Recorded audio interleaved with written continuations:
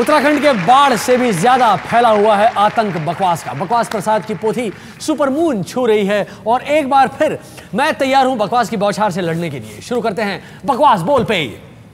हमला बोल।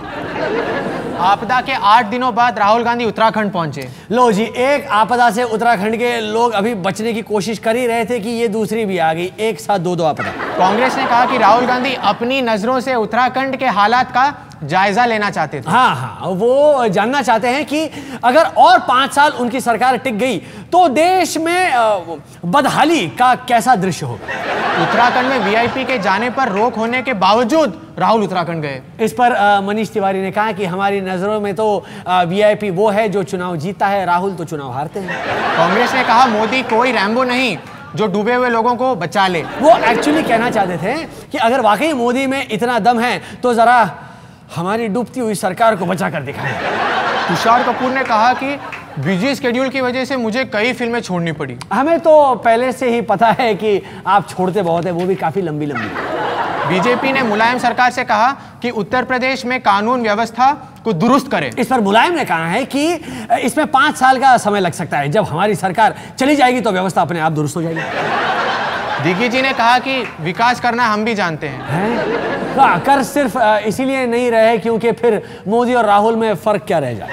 ए राजा ने कहा कि पीएम उनके हर निर्णय में साथ थे। हाँ वो तो पिछले नौ सालों से पीएम सबके निर्णय के साथ में होते हैं। जब कोई निर्णय अपना होता ही कहाँ है? डाक विभाग ने टेलीग्राम सेवा बंद कर दी। वो इसीलिए क्योंकि सरकार कोई भी घोटाला किलो में करती है ग्राम में नहीं। एक डॉलर की कीमत अब साठ रुपए हो चुकी है। हाँ ये सरकार अब साठिया गई है। मनीष तिवारी ने कहा मोदी लोगों को झूठे सपने दिखाते हैं। हाँ जैसे पिछले दिनों उन्होंने कांग्रेस के बारे में कहा कि उन्हें अगले चुनाव में 10-15 सीटें मिलेंगी। दिग्गी राजा ने कहा कि मीडिया मोदी को मुफ़्त में पब्लिसिटी दे रही है। जबकि इन्हें तो इसके लिए करोड़ों खर्च करने पड़ते हैं। राजीव शुक्ला ने कहा कि आईपीएल थीम गाने का वीडियो बहुत चला। अगर शुक्ला उसमें नाचते तो दुनिया का सर्वाधिक हिट वीडियो बनता। हरभजन ने कहा कि युवा गेंदबाजों का हौसला बढ़ाना पड़ता है। इसीलिए जब कोई युवा गेंदबाज रन देता है तो फिर अगले ओवर में हरभजन उससे ज़्यादा रन देकर उसका हौसला बढ़ाते हैं। राजीव शुक्ला ने कहा कि इस बार आईपीएल में सीट ज़्यादा भरी दिखी। दो सीट तो आपने ही बढ़ा दी क्योंकि एक साल में आपका वज़न इतना बढ़ गया कि एक सीट में आप फिट नहीं हो पाए। रितेश देशमुख एक डांस शो के जज बने। देखकर तो मुझे लगता है कि मैं भी किसी दिन इस देश का पंत प्रधान बन जाऊँ तो कोई आश्चर्य की बात नहीं राजनाथ ने अडवाणी को मना किया और फिर मना लिया।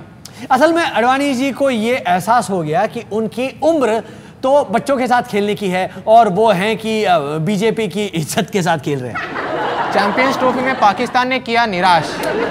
मेरी माने तो कोच को छोड़िए धमाका करना है तो आतंकवादियों से ट्रेनिंग करवाएँ। मनीष तिवारी ने कहा कि बीजेपी में हर कोई प्रधानमंत्री बनना चाहता हाँ है। पर मनमोहन सिंह कोई नहीं बनना चाहता। मोदी ने कहा कि अडवाणी जी करोड़ों कार्यकर्ताओं को निराश नहीं करेंगे। पर अडवाणी जी ने निराश कर दिया इस्तीफा वापस लेकर। बस बस बस। क्या हो गया? अब रहम कीजो। अगले जन्म मुझे चूतिया ही कीजो। ताकि ये बकवास मुझे अमृत लगे। तथास्तु बालक तथास्तु। आगे है आम आदमी और गाली तब तक के लिए बजाओ ए